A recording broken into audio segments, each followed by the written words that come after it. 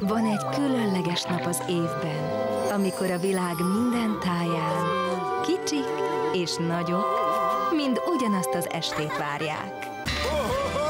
Készülj velünk az ünnepekre, és nézd meg december 18-ától a legszebb karácsonyi meséinket. Boldog ünnepeket kíván a Ginger!